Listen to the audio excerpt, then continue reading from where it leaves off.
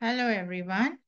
Today we are on the fourth series of our discussion about the trip to Amsterdam and the new technology that we updated ourselves on. Today's discussion is very interesting and it is on green IVF. So let's see what is green IVF. So this is myself at Amsterdam. And this is an annual meeting every year. We have it in Europe, sometimes in the US by the ASRM.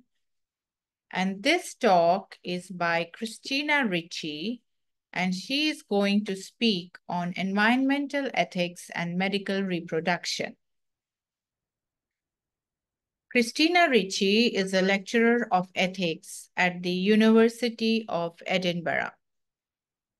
She's written a book on this topic and is well known for her ethical management of healthcare. She has, along with her colleagues, promoted green IVF. The European Environment Policy is central to combating climate change in Europe and medical reproduction carbon can be reduced by life cycle assessment of the procedure and components. What is green IVF? Green IVF refers to a more environmentally friendly and patient-centered approach to IVF focusing on reducing unnecessary interventions, medications, and resource use without compromising the effectiveness of the treatment.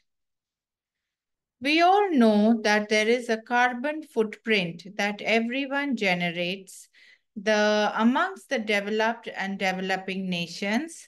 The highest is in the United States and Canada, and uh, India, though is developing, does not have as much carbon footprint, but is expected to generate more because of increased developmental activities. A carbon footprint is the total amount of greenhouse gas, primarily carbon dioxide, that are released into the atmosphere as a result of human activities like transportation, manufacturing, deforestation.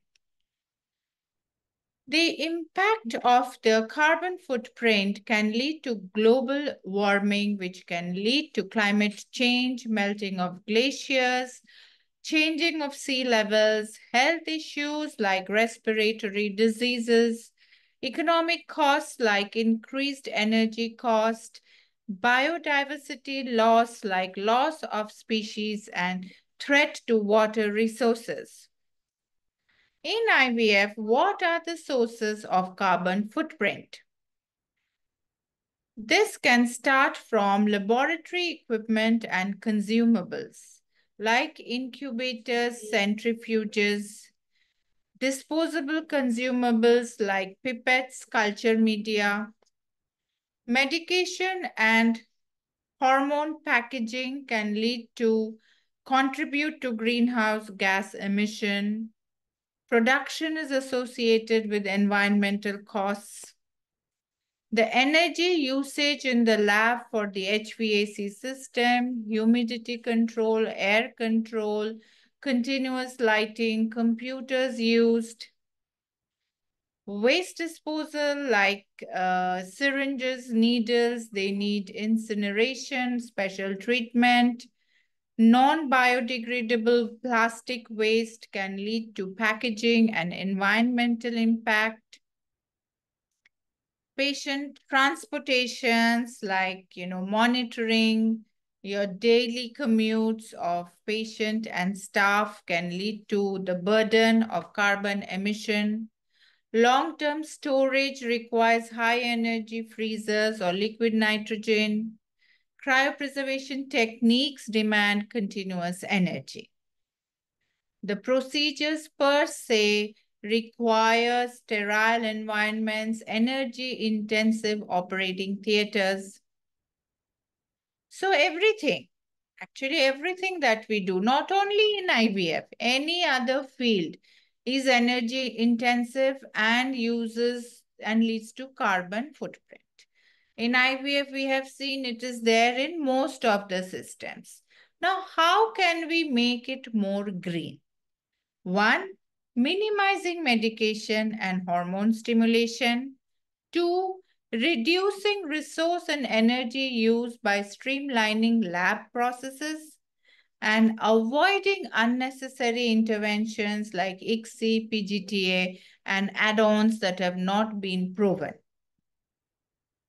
So does green IVF mean you are reducing the options? No, green IVF does not necessarily mean reducing IVF options or compromising the treatment. Instead, it focuses on optimizing processes and minimizing wasteful or unnecessary interventions without affecting the effectiveness or success of IVF. So how can we promote? We reduce PGTA, reduce unnecessary stimulation. Do we also reduce the age of pa uh, the patient where we offer IVF? No. Science is here to offer options to our patients suffering from fertility. Green IVF should not mean snatching away these options, be it age or technology. In fact, it should further empower our patients and the world in general by being more responsible. I was asked, you know, how many people do IVF and what is really the carbon footprint? Is it really a topic of debate or discussion? The answer again is yes. It is not just IVF. It could be any manufacturing. It could be healthcare industry reducing, optimizing energy conservation is everyone's responsibilities. Reducing wastage, doing unnecessary treatment is everyone's responsibility. And so is green IVF. So thank you so much for sharing your time with me. And I hope this was a little bit of a brain rattler and I look forward to seeing you in future videos. Thank you so much. Bye.